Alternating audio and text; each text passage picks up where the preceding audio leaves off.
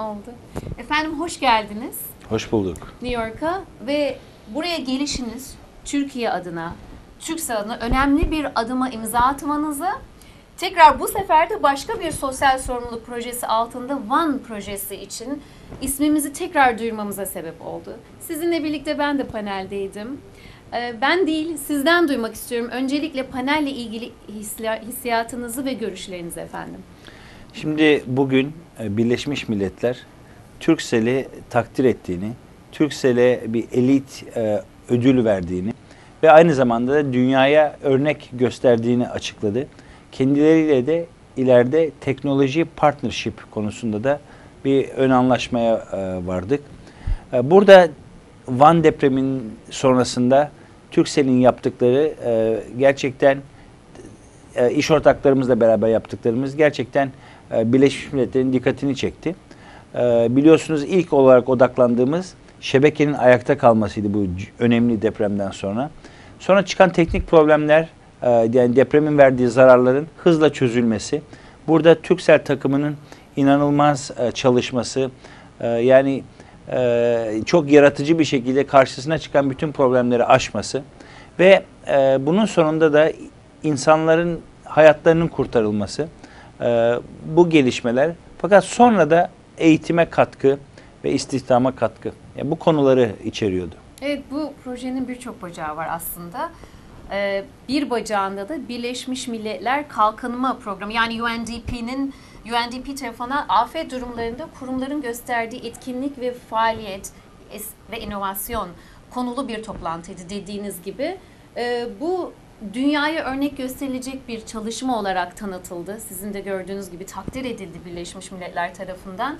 Ee, Bunları bir aşaması var tabii. Birleşmiş Milletler tarafından nasıl gözlemlendiğini, bu aşamaya nasıl gelindiğine bize anlatabilir misiniz? Evet. Şimdi e, yani olayda bence Birleşmiş Milletler'in dikkatini çeken e, Türkiye'de e, hem Türksel'in başarısı ama aynı zamanda e, Milli Eğitim Bakanlığı olsun, Ulaştırma Bakanlığı olsun ve TEV, Türkiye Eğitim Vakfı ile beraber çalışması. E, burada inovasyon, teknoloji ile insanlara faydalı işler yapılıyor ve e, bu arada yani Türksel'in eğitim için yaptığı bir bağış var. Ama burada e, o bağışın üstüne hayat paylaşınca güzel deyip o kampanyanın Türkiye Kumbarası kampanyasının bütün Türkiye'ye Türk Eğitim Vakfı'nın desteğiyle açıl, açılması ve sonra halkın bu kampanyaya katılması. E, Türksel'in e, bağışladığı 5 milyonun üstüne halktan da 5 milyona yakın bir paranın toparlanması ve bu sayede Van'da öğretmenlerimize 192 tane öğretmenimize öğretmen evlerinin oluştuğu bir öğretmen evleri köyünün kampüsünün yapılması, öğrenci yurdunun yapılması, e, öğrencilere burs verilmesi. Bu projeler Birleşmiş Milletler'in dikkatini çekiyor ve e, yani bütün dünyaya e, bu arada bahsedilen e, afet yaşayan ülkeler arasında e, Amerika gibi çok gelişmiş ülkeler de var. Evet. Ee, Orada da afetlerde çok büyük sıkıntılar yaşanıyor. Ee, Yani bir afet durumunda e, en optimum şekilde nasıl hareket edilir? Ee, O konu hakkında panelde konuştuk. Haklısınız. Sen de süper kasırgası fırtınası ardından biz de aynı şeyleri yaşadık burada. Zaten Türkiye olarak, Türkler olarak depremi de çok iyi biliyoruz ve siz de bunları anlattınız, gösterdiniz. Şimdi bir yandan tabii hissiyatınız da bunun Türkiye ve Türkse için anlam önemi olarak belirttiniz. Sizin devamlı vurguladığınız önemli bir konu var. Çağımız bilgi çağı, erişim çağı, internet çağı dersiniz. Bunu ben çok beğenirim. Hep sizi dinlerim. Ve dediğiniz gibi üç bacaktan yani Eğitim Vakfı, özel sektör, e, böyle bir kuruluş ve hükümet bunu yaptı. E, Bundan sonraki hedefleriniz nelerdir? Bir yandan da şimdi sadece iki gün için buradasınız ama diğer temaslarınızı ve bu temaslardan almak istedikleriniz, bunların neticelerini bize aktarabilir misiniz? Şimdi çok soru sordun o yüzden biraz teker teker Baştan ilerleyelim. başlayalım. Nasıl Ee, isterseniz. yani ilk önce şunu söyleyeyim. Ee, bugünler, dün bugün galiba e, cep telefonunun ilk icat edilişinin evet. Hı hı. 40. yılı. Evet, Ve bana bugün panelde de o soruyu da sordular. Dediler ki 40 yıl nasıl geçti? Bundan sonra neler olacak? Yani şimdi bakınca ben bunu Türkcell'in hayat yaşamında da görüyorum. Hikayesinde de görüyorum. Yani birinci e, bölüm bu kitabın, bu hikayenin birinci bölümü mobil iletişim, mobil SMS ile ilgiliydi. Evet. Ve yani her yerden her zaman sevdiklerine, iş arkadaşlarına ulaşabiliyorsun. Ve dünyada 7 milyar insan var. 6 milyara yakın cep telefonu var. Ee, Yani çok yüksek e, bir e, penetrasyon oranı ve her çeşit e, her her ülkede her e, gelir seviyesindeki insanlar kullanılıyor. Neredeyse her yaştaki insanlar kullanıyor. Bu büyük bir katkı. insanları birbirine bağlıyor. Evet. Çok doğru. Yani o yüzden de e, insanlara çok büyük bir değer yarattığı için de bu sektör çok başarılı olmuş. Fakat ikinci bölüm belki bence biraz daha heyecanlı. Çünkü bütün dünyanın insanlarını bilgiye bağlama oranı. Yani bilgiye bağlama konusu daha doğrusu. E, Bu beni çok heyecanlandırıyor ve yani bu, şimdi bu olunca düşün yani Türkiye'nin dünyanın neresinde olursan ol bu teknolojiyle sen dünyanın en iyi üniversitelerinden ders alabileceksin. Çok doğru diyorsunuz. Ee, iyi bir doktor kendisinden on binlerce kilometre, binlerce kilometre uzaktaki hastayla bu teknolojiyle birleşebilecek. Yani bugün Türkiye bu teknolojilerde çok ileriye gitti ve bunun sayesinde de bu faydaları artık biz görmeye başlıyoruz. Ee, yani o yüzden bu teknolojinin geleceği e, beni çok heyecanlandırıyor. Mobil ve bi- mobil dünya, bilişim dünya hayatımızın her bir y- yanına girecek. Yani 10 yıl sonra artık cüzdanımızı kullanmayacağız. Bütün e, mali işlemlerimizi, finansal işlemleri cep telefonumuzdan yapıyor olacağız. E, sağlık konusunda devrimler yaşayacağız. Ee, otomobil gibi cihazların içine e, sim kartları girince e, yani arabanız bir eğlence merkezine dönecek. Siz arabanızda giderken dünyadaki bütün müzikler, bütün eğlenceler de arabanın içine akacak. Ee, bunun yanında arabada herhangi bir ufak teknik problem varsa bu merkeze haber verildiği gibi size de haber verilecek. Ee, ve sağlık konusunda nasıl arabayı kontrol edebiliyorsak bir yerde insan vücudunun da e, performansını e, diyelim ki kalbinde tansiyonu herhangi e, bir fonksiyonu ölçüp bunu da doktora anında ulaştırabileceksiniz. Bu da e, sağlık yaşamına, insanlığa faydalı şekilde geriye gelecek. Teknolojinin e, ve inovasyonun insan e, yaşamını, kalitesini artırmasına katkısından bahsettiniz. Ben konuyu başka bir katkı, ekonomik katkı ve Türk mühendislerinin Türkiye'ye yapacağı katkıya getirmek istiyorum. Zira geçen ay e, Koray Öztürkler de buradayken benim e, muhabir arkadaşlarımdan, meslektaşlarımdan Leslie Picker e, çok güzel bir makale yazdı. Önümüzde duruyor zaten. E, ne yapıyor? Türksel Smartphone Gebze projesini Qualcomm işbirliğiyle yapacak. Bunun, bu projenin Türkiye ekonomisine katkısı, mühendislerimizin e, bize katkısı, mühendislerimize katkısını bize çi- çizebilir misiniz? Şimdi e, yani Türkiye'de e, teknolojiyi kullanarak nasıl insanlarımızı bilgiye ulaştırırız? Bu e, gerçekten önemli bir gündem. Biz bunu Fatih projesinde de görüyoruz. Fatih projesinde de tabletlerle öğrenciler yani internet üstünden anında bilgiye ulaşmaya odaklanacaklar. E, akıllı telefonlar yani hem cebinde taşıyorsun hem de seni e, tablet gibi internete bağlıyor, e, bilgiye bağlıyor. Ve e, yani akıllı telefonlar deyince akla gelen çok önemli markalar var, onların başarısı var.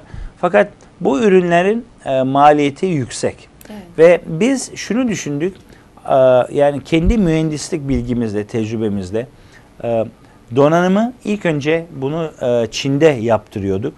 E, aynı Apple gibi, Apple'da yani designed in California, manufactured in China. China, Biz de biz de aynı modeli kullanıyoruz. Gerçi şimdi Amerika'ya gelmeyi düşünüyorlar. Yani designed in e, designed in Turkey, Turkey. e, ve manufactured in Turkey olmasını planlıyoruz. Evet. E, bu bu e, Turkcell'in çıkarttığı T serisi telefonlar piyasada gerçekten çok başarılı oldu ve aranan telefonlar yani en büyük sıkıntı gerektiği kadar bulunamıyor. E, burada bunun iki faydası var Türkiye'ye, Türkiye'nin ekonomisine. Bir, insanlar bilgiye ulaşacaklar. İki, burada cari açığa da bir pozitif katkısı olacak. Yani bitmiş e, markanın da katıldığı yüksek değerdeki bir telefonu ithal etmek yerine e, donanımı ithal edip üstüne yazılımla katma değeri Türkiye'den katarak e, değer yaratma konusu. Bunu ölçebiliyor muyuz Yani bunu mesela diyelim ki bir akıllı telefon e, yani 500 dolara Evet. ithal ediliyorsa Hı hı. e, biz bunu kendi Turkcell telefonlarında hardware olarak 100 dolara ithal ediyorsak burada 400 dolar Türkiye e, ithalat ihracattan e, azalttığı için bir avantaj sağlıyor. İmalatta E, e, bu da yani bundan 1 milyon tane satılırsa 400 milyon dolar e, Türkiye cari açında pozitif bir katkı yaratmış olacağız. Evet zaten Koray Bey de öyle demiş. E, This money will, will remain in Turkey diye global anlamda çok pozitif bir Evet. makaleydi.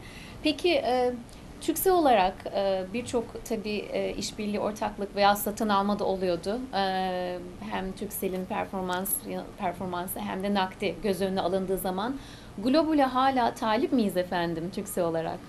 Globali halen değerlendiriyoruz diyebileceğim Son bu olarak kadar. Evet.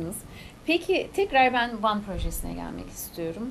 Um, bu arada Turkcell'in Türk Telekom'un yanında %6'lık bir büyüme gösterirken %12'lik bir büyüme göstermesiyle birlikte performansı Amerika'da da tabii takdir ediliyor. Gördüğünüz gibi global finans e, medyasında da bu göze çarpıyor. One projesine tekrar gelelim isterseniz. E, bu One projesi global anlamda Birleşmiş Milletler e, tarafından bir e, kalkınma programı tarafından takdir edildi. Aralıkta da iki tane hem OKA hem UNDP tarafından. Peki hani hep Amerikalıların söylediği ünlü bir söz vardır. What's next? Bundan sonraki hedefiniz nedir? Şimdi bizim e, ben şöyle özetliyorum. Türksel deyince senin aklına ne geliyor? Türksel deyince birçok şey geliyor. Bir tane söyleyemem. Ama benim aklıma Türksel deyince akla müthiş bir takım geliyor.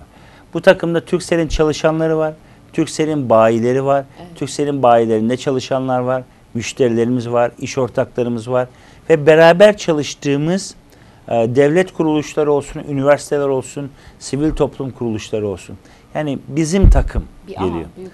Ve yani bu takım insanlardan meydana geliyor ve bu insanlar da iyi niyetli ve büyük gayretli nasıl teknolojiyi kullanarak, inovasyonu kullanarak insanlarımızın hayatında büyük bir fark yaratırız. Yani müşterilerimize odaklanınca, insanlara odaklanınca ve yani teknoloji o kadar muazzam hızla gelişiyor ki bu değişimle evvelden çözülmemiş problemleri çözüyorsun ve e, ortaya çok daha büyük değer yaratıyorsun. Ne gibi? Evet yani artık çocukları üniversiteye yollamak yerine üniversiteyi çocuklara getirmek mümkün. Ve yani bu dünyanın diyelim ki fizik veyahut da biyoloji veyahut da kimya veyahut da matematik o konuyu en iyi anlatan hocanın videosunu milyonlarca öğrenciye dağıtabiliriz. Ve e, yani o çocuklar artık bilgi neredeyse ona ulaşabiliyorlar. Yani böyle muazzam bir faydası var teknolojinin. Yani bizim müthiş takım Turkcell'in odak noktası teknolojiyi kullanarak, inovasyonu kullanarak topluma faydalı, ekonomik değer yaratan e, yeni fikirleri gerçeğe dönüştürme olayı. E, müşteriye odaklanınca ve inovasyonu iyi yapınca ortaya muazzam bir müke- mükemmel bir müşteri deneyimi çıkıyor. O zaman da ticari başarı da geliyor. Ticari başarı gelince vizyonumuza daha çok yatırım yapma fırsatımız oluyor. Ve ticari başarı gelince bu sefer etrafımızda yardıma ihtiyacı olan insanlara daha fazla yardım yapma fırsatımız oluyor. Yani bence Van'da bunun güzel bir örneği. Orada hem teknolojimizle bir deprem anında bile insanlarımızı iletiş, iletişimsiz bırakmadık. Ee, yani rakiplerimiz dahil herkese her fırsatta yardım etmeye çalıştık.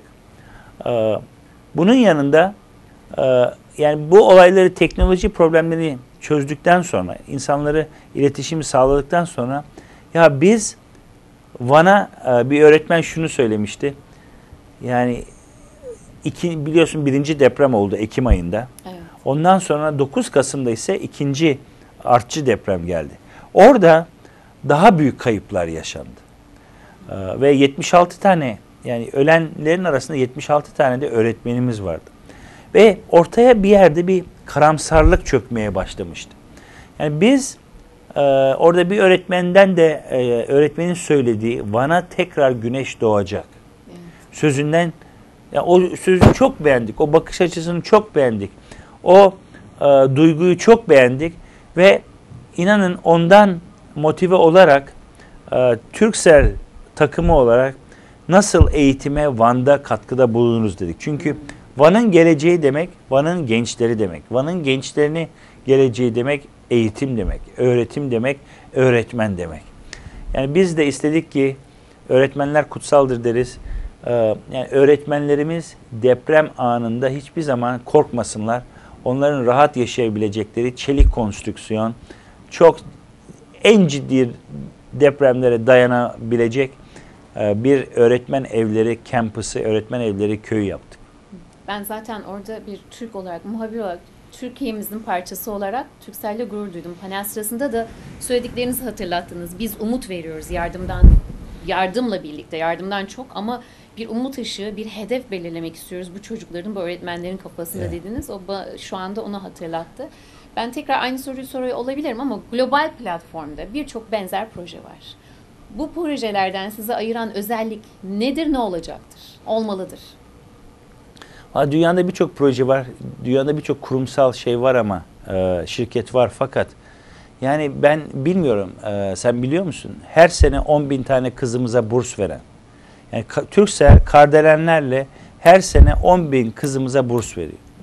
Ya Biz Gönül Köprüsü projesinde 140 bin tane öğrenciyi hiçbir ayrım yapmadan doğudan batıya, batıdan doğuya götürdük 4 sene içinde.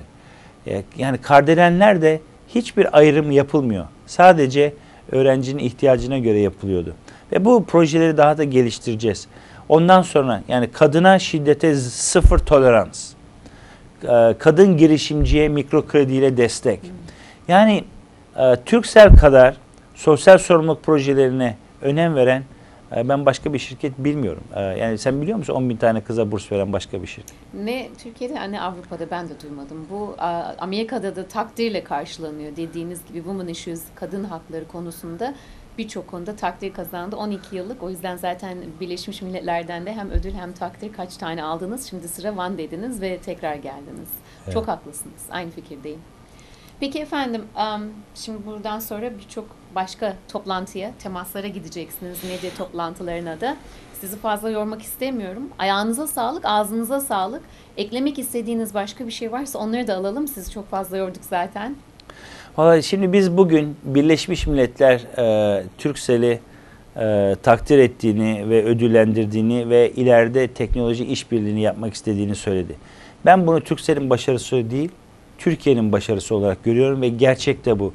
Bu yani Türksel e, demek Türkiye'de her kesimden gelen e, birçok gencin çalıştığı bir şirket.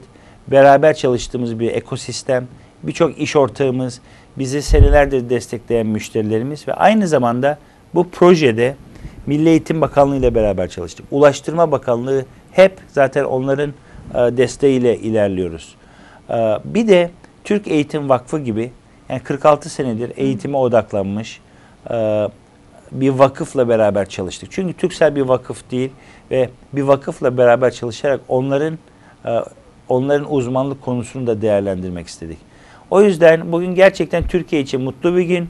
E, bir Türk takımı takdir ediliyor ve dünyaya örnek gösteriliyor ve ben de şunu belirttim yani Birleşmiş Milletler'de dedim ki biz Türksel takımı olarak hangi ülke olursa olsun onların e, onları misafir etmekten mutluluk duyarız, gurur duyarız. E, bütün bildiklerimizi paylaşmaya, onlara tavsiyelerimizi aktarmaya hazırız. Gerektiğinde de biz de e, bizden de arkadaşlar gidip bu bilgileri Afrika'da olsun, Orta Doğu'da olsun veyahut da gelişmiş ülkelerde olsun diğer firmalara, kurumlara, kuruluşlara da aktarırlar. Ben hep e, konuşmalarımda şunu söylüyorum. Artık Türkiye'nin zamanı diyorum. Ee, yani bizim müthiş bir insanımız var. Bu müthiş bir insan bilgiyle e, daha çok e, daha çok bilgilenirse, bilgiye daha çok kavuşursa, bilgiyi daha çok kullanırsa o zaman daha çok inovasyon yaratacağız, daha çok katma değer yaratacağız. Daha fazla kendimiz tasarım, marka üreteceğiz ve Türkiye'nin ekonomik kalkınması daha da hızlanarak devam edecek. O zaman da Türkiye kalkınmasını e, daha da hızlandırarak e, sürekli sürekli bir şekilde devam ettirmiş olacak. Çok güzel bir mesaj verdiniz. Bana da sordunuz ya var mı bildiğin bir şirket diye.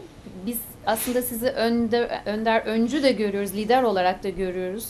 Hem dünya hem Türkiye'de. Türkiye'deki diğer şirketlere ne mesaj verirsiniz? Çünkü hepimizin, bütün diğer sektörlerin de varlığını göstermesi, ABD'yi sizin gibi çıkarma yapmaları gerekiyor. Öyle değil mi efendim? Aynen. Ee, ama e, Türkiye'mizde de çok başarılı şirketler var. Biz inanın e, takım olayına çok önem veriyoruz. Yani işbirliğiyle paylaşmalıyız ve e, Türksel her konuda uzman değil. Türksel mobilite ve bilişim konularında uzman bir iletişim, bir teknoloji firması.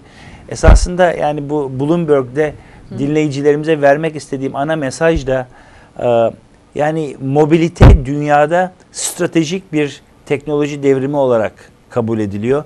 Biz de bunu dünyada en iyi uygulayan şirket olarak şir- şirketlerden bir tanesi olarak Türkiye'deki kurumlarla ve bireylerle bir takım olarak bu teknolojileri, bu inovasyonu onların işlerinde e, uygulamaya hazırız. O zaman işbirliğiyle daha büyük, daha farklı, onların müşterilerine daha fazla değer yaratacak çözümler üretebiliriz. Çok teşekkür ediyoruz. Ben teşekkür ederim. Sağ olun. Evet, sohbetimiz Süreyya Ciliv'le burada sona erdi. Söz tekrar sizde İstanbul'da. Harikasınız. Temettüyü sormadım. Hemen söyleyeyim ardından. Sorabilir miydik? Sorabilirdi Ekleyebilir miyiz? Söylenebilecek çok bir şey yok galiba ama tabii Çünkü prodüsörlerim sordu ama sonra Cem sağ olsun, Nedim sağ olsun bir de kim ben onu sadece ve sadece CSR'a odaklan deyince benim hep kafamda bunlar var devamlı. Vah İrem ki e, orada şey var mıydı? temettüyle ilgili söyleyeceğim e, temettü konusunu e, yönetim ekibi olarak e, değerlendireceğiz ve e, yönetim kurulumuzla birlikte e, doğru stratejiyi belirledikten sonra bunu genel kurulda onaylatıp uygulamaya geçireceğiz. Yani şu anda vereceğim e, Bir zaman dilimi de yok. bir e, mesaj yok. Anladım. Ee, Türksel'in e, yönetim kurulundaki konuları e, çözmesiyle bunlar da hızla çözülecektir diye inanıyorum. Peki. Teşekkür ediyorum.